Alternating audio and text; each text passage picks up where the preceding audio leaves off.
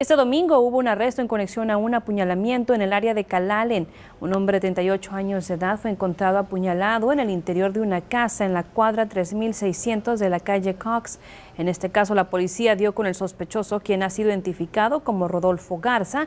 No se han dado motivos relacionados con el incidente, pero la policía dijo que el sospechoso había estado en la casa de la víctima la noche anterior con motivo a una reunión.